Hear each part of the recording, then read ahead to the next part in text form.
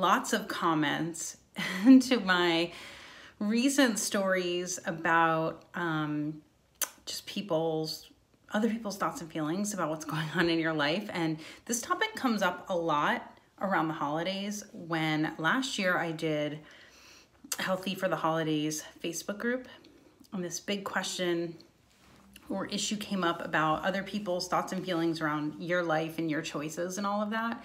And then it kind of came up again in this Q&A thing that I just posted because several people asked a question about what to do about like an unsupportive family or unsupportive spouse when it comes to changing your nutrition.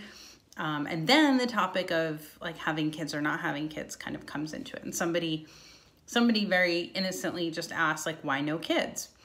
And I totally know that that question is not meant to be like, why aren't you having kids? Like, I don't know. It's not meant to be accusatory or any of that, but it kind of spurred this other conversation of or this other thought process for me just as just as plainly as somebody might really be curious about why we don't want to have kids or why I personally don't want to have kids, I really am curious like why why do you want to have kids? Um, I'm actually not that curious because I don't know, like I'm just not that interested. But I, I want other people to be curious for themselves or answer it for themselves before they make that decision. Um, feel free to chime in with what you guys think. Hey, you guys, thanks for joining. Um, but I, here's my thought. I have known since high school that I did not want to have kids. I just, I don't enjoy spending time with kids. I don't enjoy babies. I don't enjoy toddlers. I do enjoy kids who are like it's not like I hate them. I just don't enjoy spending time with them.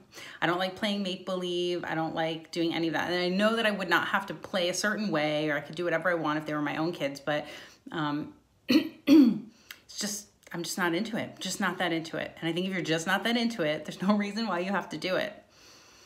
Um, yes, and it's a hot topic in the world of infertility and people a lot of people commented to me and said, um, well, two things. One, no one asks this of men. So to your point, Maida, um, yeah, if you don't want to have them, you shouldn't have them.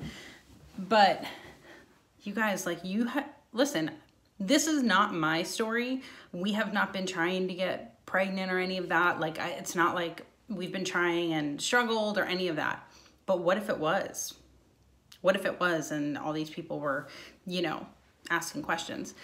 Um, so, and, and even if I was trying and saying that we didn't want to have them, like it's my prerogative to say what I want to say about it. But a lot of people, um, a lot of people were saying, you know, they've been dealing with infertility for a long time. Some people said seven years. And I mean, to ask that question is just, it's an insensitive question to ask one way or the other. Either when are you having kids or why aren't you having kids?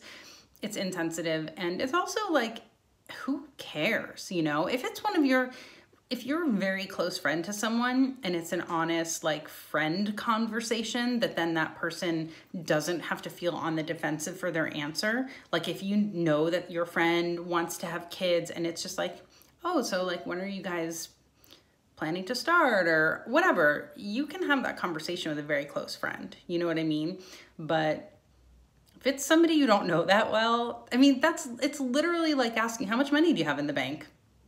It's just super personal. Um, and I think, you know, I just think everyone needs to be aware of that. And I think it's, it's really important to know that, um, not everybody feels the same societal pressure that other people feel. I have literally never wanted to have kids. And so I also you guys, there's a huge upside to that feeling. Like, I then did not feel the pressure to like, gotta find a husband, gotta do the thing, gotta get pregnant, gotta have the babies, gotta do all this. And so, um, what that did for me was give me more time and space to find the right husband.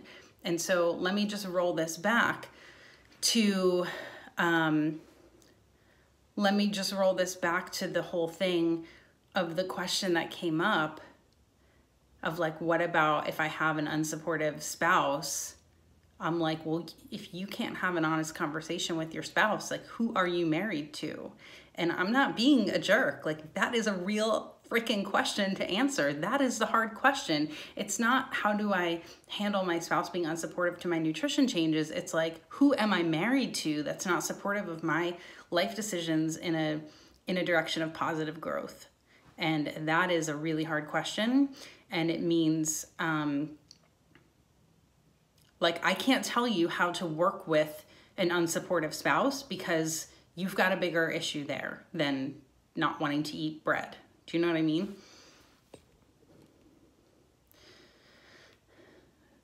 A repairman asked the other day how we got away with not having kids. What is wrong with people? Um, honestly, I think there's just a lot of people who are very uh, unaware of the way that what they're saying is coming across. And yeah, I think um, people are honestly, like I, I just think like that that conversation is one that a lot of people are very um, asleep at the wheel in general, just in life, and don't realize that what they wanted for themselves is not what other people want for themselves, or don't realize that other people. Um, my parents never pressured me like, oh, we really want to have grandkids. They're like, great, we'll come visit the dog. And you like they're just like this is your decision. Like it was just never a thing. But the reality is i the reality is this it's not just that they um, don't say it. It's like my mom knows that if she were to say to me like i really want you to have grandkids i'd be like that's nice you you can't want something for somebody else that they don't want so get it off your mind because i don't want it and move on to something else that you might want because what you want has nothing to do with me. You know what I mean? So I like your sets of wants and desires begin and end with you. And this is the ultimate problem that I see is that um, that feeling of like my parents want or expect this thing of me, there's just a lot of shit there that I cannot unpack in an Instagram live right now. But um, I'm going to talk about that stuff when I do finally create a program that's kind of like personal development and um, entrepreneurship oriented. It'll probably be more personal development oriented and then it'll have little facets of entrepreneurship in there. But the reality is, I think becoming a good entrepreneur is just about becoming um, a more self aware, self assured, confident, capable person. Um, and then whatever you choose to do with yourself and your, um, your wits, you know, having, having those capabilities you can move forward from there. Uh, let's see. Complete strangers. Like I dare somebody, when somebody asks you about having kids, you'd be like, oh, how much money do you have in the bank? And when they're like, what? like, it's just as personal of a question and it's none of your business. So thanks, but no thanks. Um,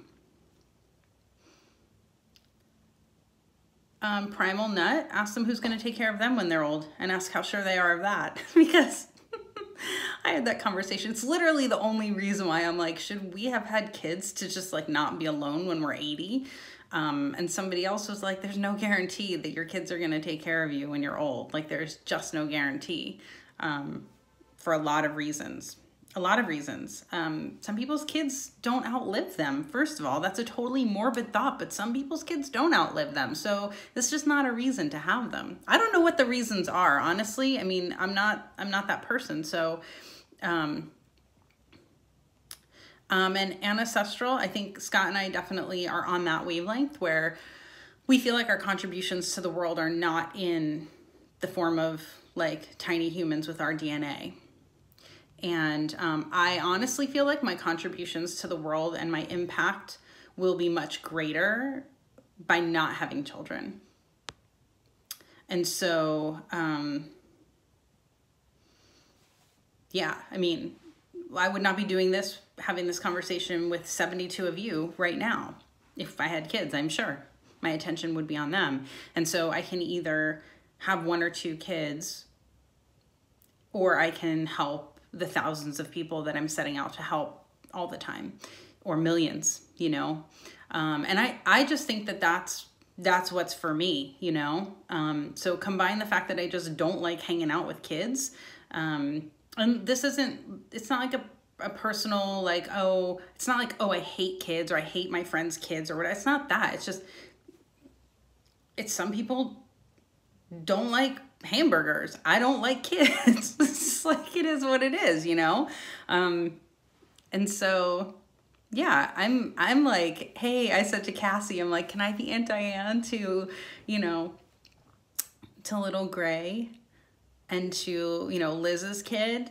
Um, I'm gonna be Aunt Diane, and that's what I'm gonna be. I actually just packed up a little something for each of them today that I'm just gonna send just because I like want to be that aunt. I think that sounds really fun. Um, you know, I think also a lot of people don't really think it through. Now, moms, correct me if I'm wrong. But I think a lot of people really don't think it through. They just think like they want this thing and then that shit's hard.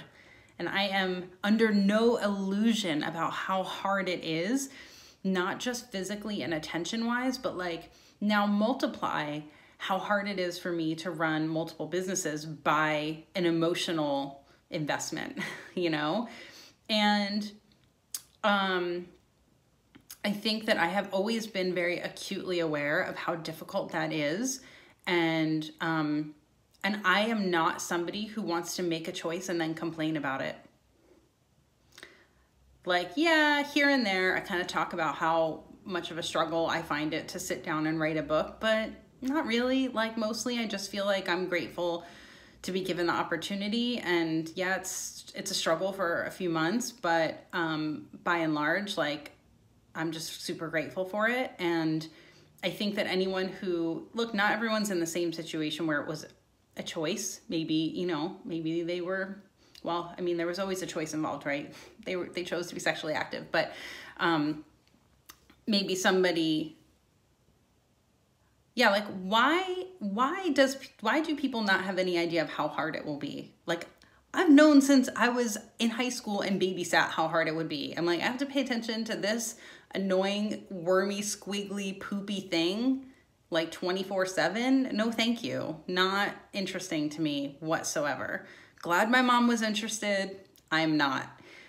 I mean i'm just real like uh, this is an honest question. I am not being a jerk but like why is it that people don't understand fully how difficult it will be? Do you know what i mean? Like there's a there's a real point of confusion for me around that. It's like it's this massive emotional, physical, mental um, invest the biggest decision people will ever make, you know?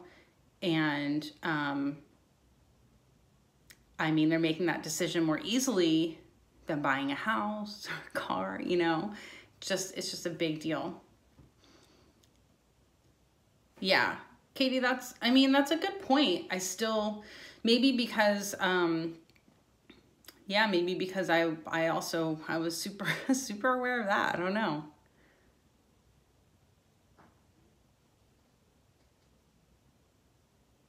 I thought you'd be able to hand them off to a babysitter. I think some people have an easier time of doing that than others. I think a lot of people might honestly not be as um,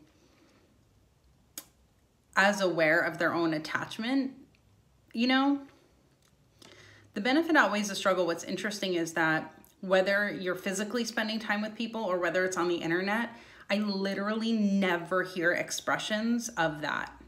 And I'm not in that world, admittedly, but even not being in that world, like the amount of joy that people share about being a parent is like 1% to the 99% complaints. And I'm not saying people like need to change what they're what they're doing. I don't care what people do. I'm just saying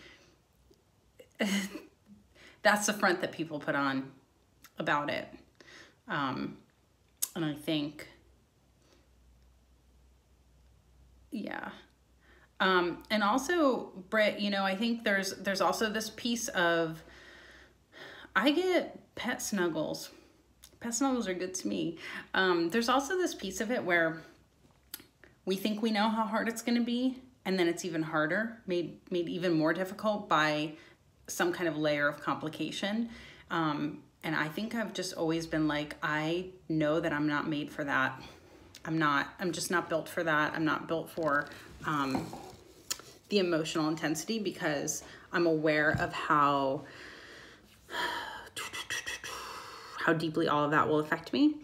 And so um, I was like, I'm not going to be able to handle it. It's just, it, it will be too intense.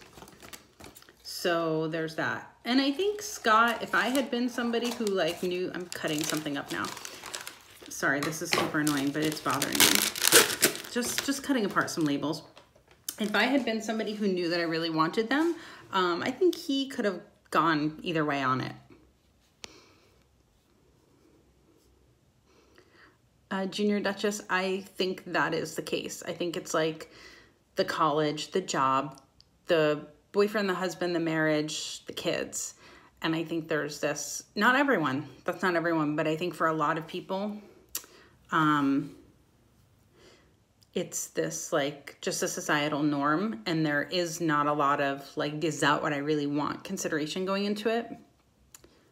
Cat cat my friends tend to disappear when they have kids and my attempts to spend time with them are turned down it's like i'm not let in i don't i don't know if it's overwhelmed um i mean i've told all my friends who are having kids i'm like i'm not going to see you anymore and it's not because i don't love you but it's because your life is going to be really different now and also i don't really like kids and so don't ask me to hold the kid it's not personal i really don't want to hold a baby um, and I just can't like hang out and it's it's re- I don't know that parents of toddlers can feel um, what it feels like to be in the room with a toddler who I know full well needs pretty much 100% of your attention. Um, and for me, I'm like, I can't spend time with you and the toddler, you know? And that's not a personal thing. It's not like I don't love you and because you have a kid, I don't love you anymore. It's like, we can't engage when there's a toddler there who needs your attention. And that's okay. The toddler needs your attention, but our friendship has to change and either there has to be a babysitter and we do something or um or we don't spend time and you spend time with your friends who do have a kid who they can you know play with each other if that's what they do. But other than that it's it's really tough. Um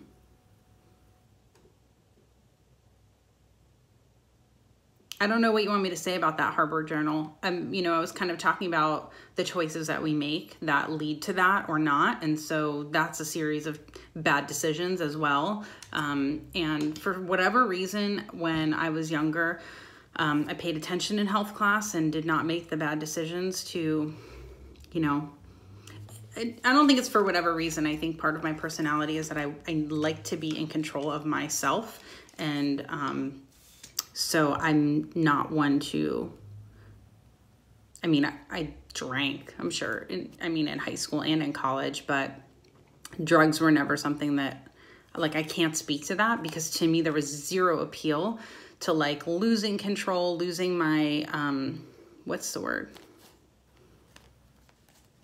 I can't even think of the word. Just like losing control of my own ability to, you know, make choices. There's a word that I'm just not, it's not coming to me. Um, Leslie, I mean, honestly, like, we just have to find other friends too. My friends keep getting younger, or I have some older friends who don't have kids. I'm looking at your comments. Yeah, and not having kids does allow me to focus on other things, spend time on my businesses. I, I, you know, quote employ their their contract, but I have seven women on my team. If I had kids, I don't know that I would be able to pay seven women, who most of them do have kids, to do a job from home. Um, nobody's asking Oprah why she doesn't have kids. I just need to get a little older so people stop asking. I'm just kidding. Most people don't ask me. People in my life who are close to me don't ask me. Um,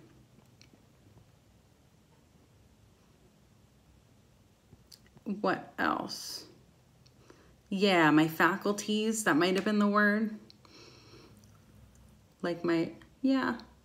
I felt like it was a C word. I don't know.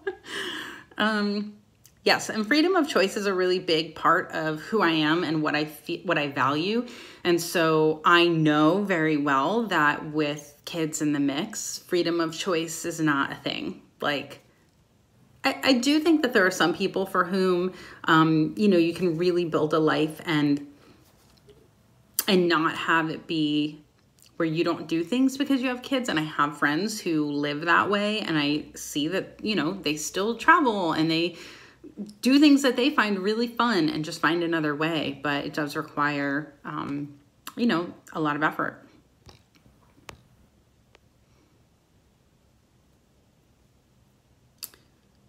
Um, uh, Valerie, by that same token, I find that I can't relate to most of my audience for a lot of different reasons. Um, I can't relate to most of my audience because I'm not a mom and I don't want to be a mom. And I think that most of my audience, I would say probably more than half of the women who follow and read my stuff and use my books and recipes, etc., um, are probably moms or want to be moms. And that's really hard for me. Um, but I, you know, I think about Oprah and I just think just because I don't have kids doesn't mean what I'm saying about all of that is not valid. So there's that. Um, but I really don't, I don't know. That's a hard thing. Like it's, it is hard for me to speak to women, knowing that most women are moms or want to be moms. And, um, hey guys, uh, and know that it's just not something that's for me. So when I talk about the way that I like move through the world and the decisions that I make about life and business, there's always that side element of you know, when you're a mom and you are always going to want to put your kids first, but I still I still grew up paying attention to the way that my mom handled things. And you know she brought me to the gym with her and i was in the little daycare or sitting literally i remember sitting watching my mom do jazzercise like in the room. And i was i guess i was a well-behaved kid. I just would like watch her or play in the corner. I have no idea. But um i don't know. Um and Britt, i think a lot this is my this is my thought. I think a lot of women is not personal, you guys. I don't know any of you. So don't take anything I say personally as if I'm talking about you because I don't know you. So you can't, you can't take something personally when I don't know you. You know what I'm saying? But I think a lot of women have children before they are not a child anymore themselves. I think a lot of women have children while their own personalities are not yet fully known and developed and they're lacking self-awareness about the way that they move through the world. Um, and so then that doesn't mean that you can't raise a well-loved well-adjusted child if you don't have that awareness. But i really do think that um, i think that that's something that happens very often. And so it becomes a struggle to then identify who you are and how you fit into the world aside from mom. Like your mom and you don't like your your sense of self just becomes shifted from child of my parents high school student college student recent graduate with a new job girlfriend wife mom. And there's no like but who is jane? Do you know what i mean? Yeah. And and the thing is like it should become part of your identity, but one of the best ways to be a really good mom is to have your own identity so that your kids understand how to have an identity. Do you know what I mean? Like they're learning how to be a person from you. And so if the only thing they ever see is that you are mom, then they don't know how to be anything other than mom and and fill that role and that's the role that they fill. And so what's probably happening is a lot of you only had that modeled for you. And i think i don't know that my mom realized she was doing it but my mom always had like a social life and she always had activities she liked doing and she kept herself you know busy with exercise and her friends. And so i think that that um, i really don't think that we're able to do this work until we're in our 30s and so um, and so I think that women who have children younger, you know, it's for some, it helps you realize this is something you never did. Do you know what I mean? But I, I think that I honestly think, and I've heard this from a couple friends, they're like, I don't know that I would have done this work if I hadn't had a child to then realize XYZ. But I think that this is just the age that it happens in our 30s. We're like, okay, I need to stop making those bad decisions because that's not turning out how I want it. And I need to choose something different. And why do I keep making that bad decision? Or why is this thing in my life not going the way I want it to go? Um, where's that coming from? And so, um, this time period from like literally from I think 30 to 40 and I'm sure someone who's 40 to 50 will tell me how much better it gets the older you get too. But I really think that from 30 to 40 when you get out of your parents' house but you're still dealing with their, you know, expectations coming at you and you realize that you need to make decisions on your own and you realize that a lot of the things that you're stuck with in your life right now are a result of having just kind of followed along um, what everybody else wanted you to do instead of what you really wanted. Um, I think that that is where we, we kind of got off the kids, no kids topic. but I think that's where the rubber meets the road. And I think that in your 30s is when this work is done. Um, and so I think this is where like personality tests come into play. And I think that um, figuring out how to connect with your partner based on personality test or um, something you know i do this with my close friends i'm like which enneagram type are you which you know tendency are you figuring out like okay well what does that mean for our relationship oh this is why we get along so well oh this is why we fought about this type of thing or you know whatever um, and i think that that is um, thank you, Drinking Sunlight. Maybe that'll be the name of my my program. Um, I'm gonna read back. I missed a bunch of your comments, and I'm sorry, my nose is itchy. Um, Leslie, Leslie Diane. Oh, being a pediatrician, I see so many parents with their kids, and I shake my head knowing they should never have had kids, um, or they didn't want them. So interesting. Um, and I, I do see a lot of women who are older who have kids, like older meaning, you know, mid to late 30s, who do have a different sense of self going into it. And here's the really big benefit if this is any of you who like still have not yet had kids and want to or are trying to, I think that you become a much more calm mother, which is a good thing. Like being hyper vigilant and hyper like stressed about everything of course, you guys, if there's a health issue and whatever, things come up. But I'm saying the moms I know who were a little older starting out had a little more time to just like live and realize how to respond to life instead of react to it in this like hyper way, hyper and anxious way. Um, yeah, what else? Okay um, lived for many years on my own. Yeah, I mean, I lived on my own for a couple of years and several years. Really, really enjoyed that. Anyway, I was just, you know, just wanted to come chat with you guys. Oh, actually, Instagram does leave my clock. How long have we been chatting? It's been a while. I had a, I have a video call at four o'clock, so I had all the makeup on. I figured I would chat with you guys in the meantime, but I think it's an interesting conversation. And I screenshotted a bunch of the questions that you guys asked um, in response to my recent post so that I can cover them in some way going forward.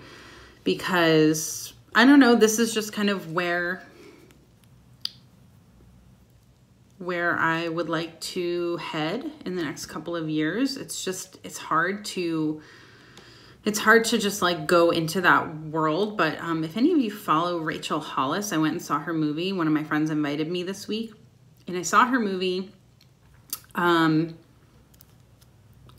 and um, I don't think you get a chance to become your own person while you're being a mom in those, especially those early years. And it, I'm not saying that it's like you can't or you should have and you didn't. It's just more like naturally that takes over, you know? Um, but so I saw Rachel Hollis's movie. If any of you have read her book Girl Wash Your Face or you saw her movie, let me know. But um, I do not relate to the women in the audience like of her seminar. And so for me, like I relate to Rachel as Rachel as the teacher. And when I saw the movie, I was like, I need to be doing this in my way with the messages that I need to share and the insights that I have about just like human nature and the decisions we make and who we are as people. Um, and ultimately, the the big thing that I feel is the challenge is the part about like not being a mom and not being able to relate to that life. But then I just remember Oprah and I'm like, Oprah's not a mom either, and it's okay. She still is going to teach women how to adult, and they can put their mom hat on with it or not, whatever their choice is.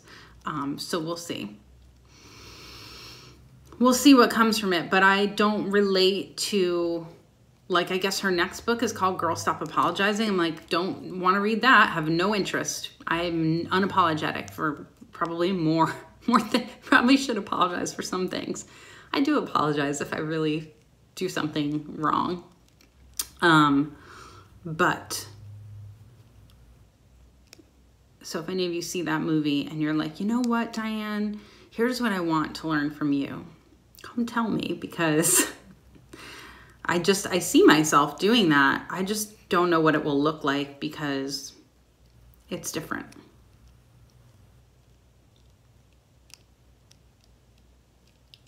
Yes. You guys, there's a lot of you watching here. What else do you want to talk about? We've got a few more minutes.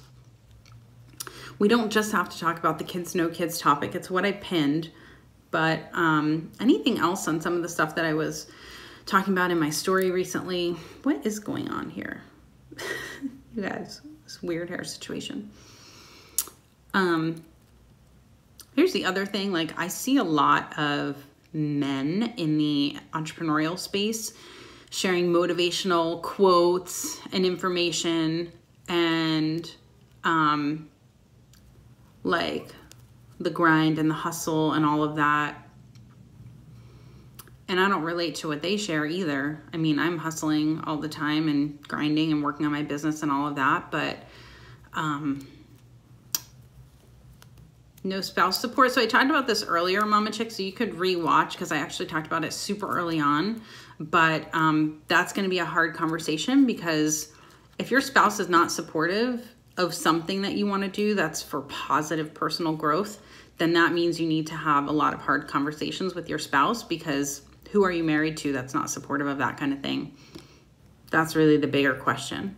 Um, yes, my hair gets painted. Did you struggle with self confidence? How'd you overcome? Um, I do not remember a time. This doesn't mean that there aren't things that I don't feel 100% about, if that makes sense. Like, I haven't really exercised a ton in the last year, I haven't lifted weights, and like, I'm not, you know, feeling 100% thrilled with my lack of definition, my arms or whatever. But does that make me lose self confidence? No, because my confidence is not wrapped up in whether or not my shoulders are popping, frankly. Um, and I think that I think that being somebody who is always interested in learning new things and gaining new skills and contributing to the world in a way that doesn't have to do with how I look or and that doesn't mean I don't want to like put makeup on and be cute, but um I think that maybe people have their confidence wrapped up in the wrong things. And um, becoming capable of taking care of myself and learning skills and trying things and doing them and failing and then doing them better the next time, that's what builds confidence. So, whoever is holding you back from trying things that you want to try and taking a class or you know, burning a steak the first time and then grilling it better the next time, like those are the things that build confidence. Like ultimately knowing how to do a lot of things to take care of myself is what makes me confident. I don't really know. I don't know what that would feel like either. This is the other thing that you know, sometimes I feel like in order to teach something, I need to be able to truly empathize with how it feels. So obviously, I can't empathize with how it feels to be a mom and want to have a business, and I can't empathize with how it feels to be really struggling with like deep self confidence issues. But I think I think the word confidence is to an adult what just self esteem is to like an adolescent or a teenager. And so if you think about what we were told to do or not do when we were younger to, to build self esteem, it's the same things. Um, and for some reason, we think that just because we're an adult, we're not going to need that anymore, but we do. And if you're surrounded by people who are not uplifting and supportive and believe in you, you need to detach from them. And I think that I think that the real struggle is a lot of people probably have parents who are more damaging than helpful, and that sucks because that would really suck if that were my parents, and I can't also relate to that. Um, uh, you know, there are some relatives in my family. I have I have an aunt who I'm just like I don't like her. Um, we're not related by blood, but even if we were, I don't like her. I don't like the way I feel when I'm around her. I don't like the way she talks to me. I don't like the way she talks to other people, so I don't spend time with her. It's as simple as that. I'm an adult, and so I need to really make those decisions for myself. As soon as I could make those decisions, I just opted out of those kinds of events. Um, Jessica, if I could tell you, I don't know how I'm productive um, I just I there are a lot of things that I want to do, so I just I do them because I want to do them, and I don't do anything that I don't want to do. So there's that. Um, so um, if anybody here has something that you have felt recently has helped you helped you to build confidence, feel free to shout it out. Um, but I, my confidence, I build my confidence by doing things I enjoy that I'm good at. Um, and then if I don't know how to do something, here's how you don't build confidence by saying, I don't know. I don't know how to do that. I don't know how to do that. I can't do that. Nope. Don't know how. Can't do it. I really want to do it, but I can't woe is me. Like that will be a sure shot to not building confidence. Um, so you don't know how to do something? Freak, man. You guys, this is like the age of YouTube videos, how to do anything. So you don't know how to boil an egg? Freaking YouTube it, learn it, figure it out. Try it 10 times. Poach an egg? Try it 10 times, figure it out, you know? Um, all the things that you're like, I don't know how to do that, that make you feel disempowered, learn how to do them. Put the time in you know? Um, thanks, Kara. Um, our pets are kids too, right? Yeah, I think so too. And I think the more um, awake and self-aware people are, and I think the more um, women are in the workplace, I don't know why people are asking that question so much about why we don't want to have kids. I'm like, I have other things I want to do. I don't need a tiny human hanging on to me 24 7 for like the first 18 years of their life. It's just, I just like literally 0% of that sounds enjoyable to me. So if it doesn't sound enjoyable, why are we doing it? If it sounds really enjoyable to you, great. It's your prerogative. Do it. Yeah, I, I mean, building self confidence also came from wanting things when I was a kid and not being willing to accept no for an answer. And so my mom says, No, I'm not going to buy that for you. Okay, well, what can I do to make that happen?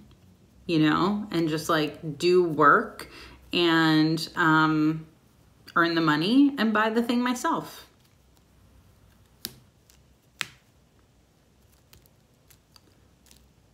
Feel like a lot of people have kids get offended by or have issues with people deciding not to. It's, it's the whole, are they, they're judging me for making a different decision. Honestly, sometimes I feel like people with kids like want to commiserate and I'm like, I'm not interested in that particular brand of misery. I will choose different types of misery, like sitting my butt in a chair all summer for the last six summers of my life to, to write a book that will help someone get off of their diabetes medication. That's my choice of a particular brand of misery that I enjoy that is painful, but beneficial to someone else, you know?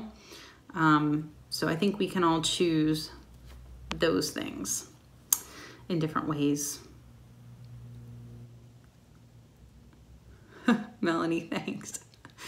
I mean, I do feel like um, a lot of what I do with the team of women who work with me for Team Balanced Bites, I feel like a mom. You know, even though, well, two of them are older than I am.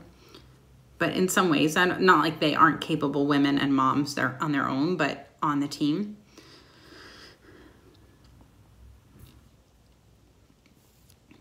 Um,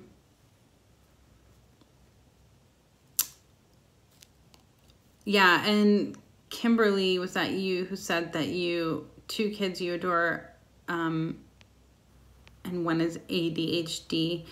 Um, yeah, I mean, I'm under no illusion that if I were to have children, they would be 100% healthy. Who knows? You never know. And it's not to say you love them any less at all. Um, it's just obviously going to be more challenging. And I'm under no illusion that that's not a very distinct possibility. Yeah, the, the drama and the judgment and all of that.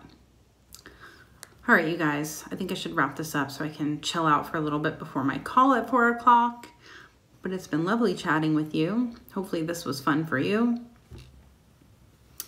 if not fun, informative, educational, thought provoking, perhaps. um, this is backstage, but then I put a little bit of little black dress over it, I think, to make it a little more colorful. That was backstage. Thanks, Melanie.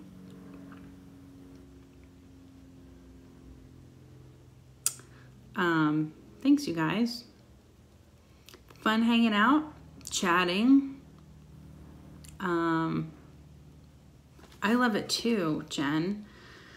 I think it's fascinating, and I need to figure out a way to make this the stuff that I get to do kind of all the time. You guys want to know what else is really crazy? My sister um, is a psychotherapist, and she's writing two books on insomnia Yoga for Insomnia.